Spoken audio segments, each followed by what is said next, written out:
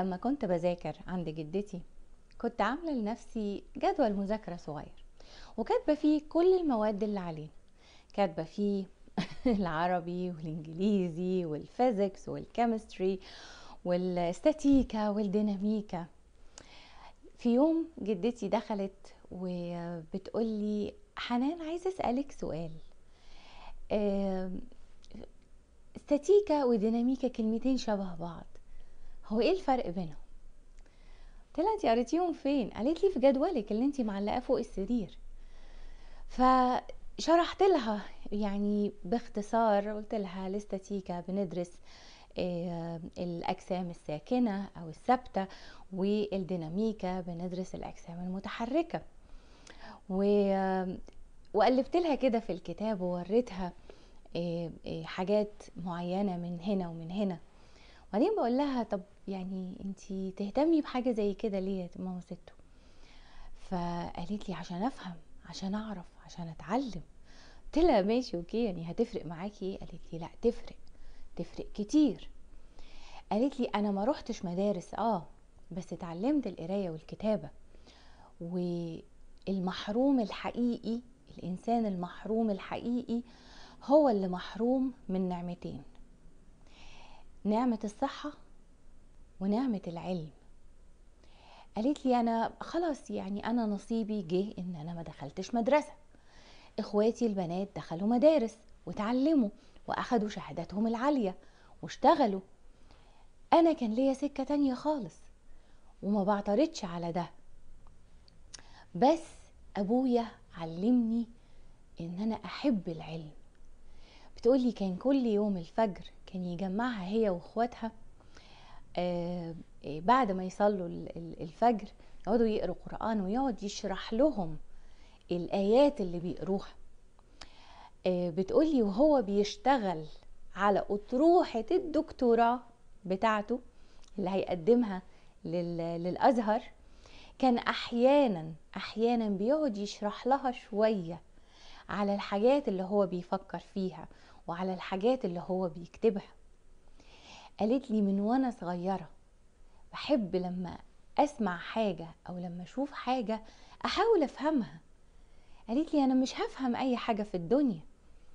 يعني أعتقد إن هي كانت بتحاول تشرح لي إن هي مش هتبقى عالمة ولكن إيه ما كانتش عايزة تبقى جهلة. دلوقتي بزعل قوي قوي قوي لما بنقلل قيمة العلم وقيمة العلماء. ده من ناحية. من الناحية التانية لما يجي مدعي العلم الناس اللي بتدعي إن عندها علم الناس اللي بتدعي إن عندها شهادات. أنا بأصعق إيه، لما بكتشف إن في ناس معاها شهادات مضروبة. وده يمكن من زمان قوي.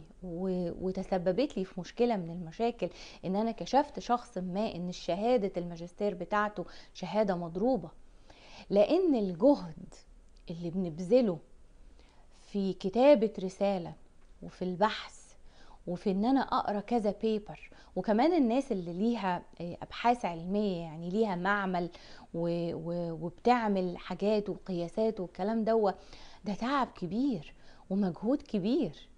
وفي الآخر نتريق ونقول العلم لا يكيل إلا بالبتنجان والكلام العبيط ده. ونلاقي كمان أخبار علمية مضروبة. طب ليه؟ هتستفيدوا إيه لما تكتبوا أخبار علمية مضروبة؟ مش صح؟ أو أو متفبركة.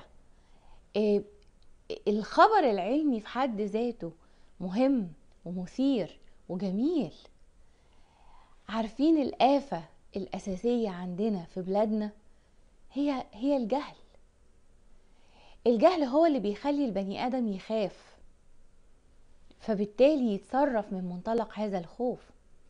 الجهل هو اللي بيخلي الإنسان ما يفهمش نفسه وبالتالي ما يصلحش نفسه ولا يصلح علاقاته مع الآخرين. الجهل هو اللي بيخلينا ما نقراش التاريخ ونشوف حصل فيه إيه. وممكن يحصل فينا إيه؟ الجهل هو اللي بيخلينا نصدق الخرافات والدجل و- وييجوا ناس يضحكوا علينا. ال ال اللي بيقروا البخت والطالع واللي بيعالجوا من الجن والكلام ده كله. في حتة فراسة عندهم. علم الفراسة إنه يقرأ ال body language بتاعت اللي قدامه. يعرف إيه؟ آه، في من القنوات على اليوتيوب اللي أنا متابعاها قنوات بتحلل ال body language بتجيب الناس المشهوره المشاهير الرؤساء الدول آه، المجرمين ويحللوا إنه رمش في الوقت ده. بص بعيد لما لما كان بيتكلم في حاجة. بيعرفوا يقروا لغة الجسد وبيطبقوا ده. الناس بقى اللي هي بتستخدمها في الدجل على إنهم يعرفوا مفتاحك فين.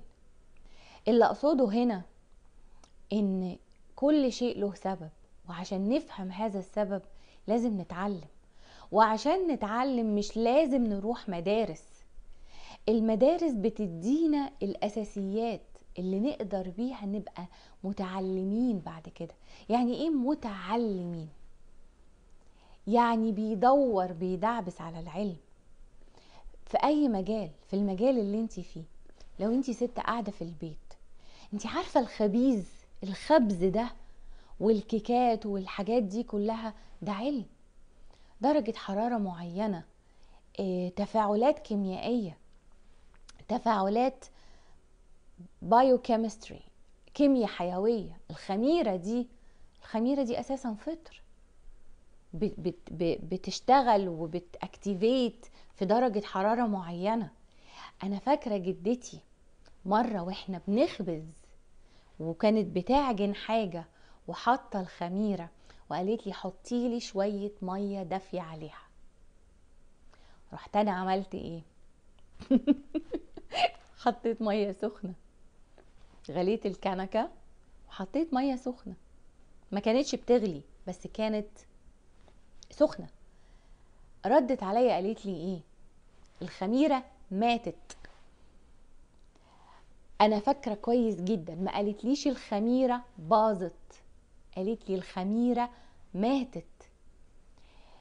الست دي اللي يعني هنقول بفطرتها أعتقد إن هي كان عندها حاجة أعلى شوية كمان من الفطرة إن هي كان عندها قوة ملاحظة وإنها لما كانت تشوف أي حاجة كانت تفكر وكانت أنا فاكرة مرة بتقولي اللي اللي فيه عينين وراس يعمل عمايل الناس. قلت لها يعني يعمل إيه بالظبط؟ قالت لي يعني اتعلمي بعينيك اتعلمي بودانك. قالت لي أنا وأنا واقفة في المطبخ ودي كمان شفتها في والدتي. فاتحين الراديو فاتحين الراديو على القنوات اللي هي الأساسية بتاعة الراديو آه، يسمعوا زيارة إلى مكتبة فلان. وكل آه، كاتب أو مفكر بيتكلم على الكتب اللي في مكتبته بيتكلم على الحاجات الجميلة دي بيسمعوا للعلماء بيسمعوا للتحليلات السياسية بيسمعوا بيتعلموا بودانهم بيتعلموا بعينيهم. وإحنا عندنا فرصة هايلة لأن دلوقتي ال ال الوصول إلى المعلومة سهل جدا. سنة 92 وأنا في أول سنة ليا في الجامعة في في في هندسة عين شمس كانت المكتبة مضلمة كده. وكان في دراج والدراج دي مترتبة أبجدي ونقعد ندور على الكتاب اللي إحنا عايزينه ونشوف رقمه عشان نروح لأمين المكتبة عشان يجيبه لنا. ولا ويا سلام بقى لو يكون حد تاني واخده عشان مثلا الكتاب مفيش منه غير نسختين في المكتبة. دلوقتي افتحي الإنترنت افتحي جوجل اكتبي أي كلمة. اكتبي أي سؤال زي ما بتقوليه كده. آه اكتب أي حاجة في شغلك. اكتبي أي حاجة في شغلك عايزة تتعلميها. search هتلاقوا papers هتلاقوا كتب محطوطة ببلاش هتلاقوا فيديوهات تشرح هتلاقوا مقالات هتلاقوا للأسف للأسف المعلومات موجودة. لكن ما ينقصنا هو الحكمة اللي تخلينا نستفيد من المعلومات دي. اتعلمت من جدتي إني لما أقابل كلمتين استاتيكا وديناميكا أسأل هو إيه الفرق بينهم؟ هو إيه معناهم؟ يعني إيه؟